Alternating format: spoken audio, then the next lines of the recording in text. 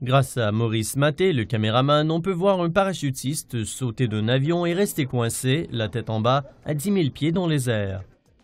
On peut voir son ami Fernando Gavas sauter en parachute au-dessus de Lima, la capitale du Pérou.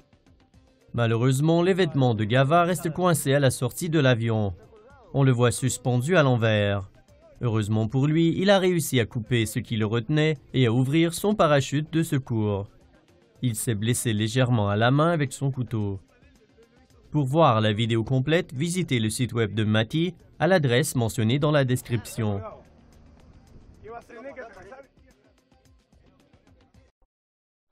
Pour des commentaires drôles et nos vidéos inédites, visitez fr.tomonews.net.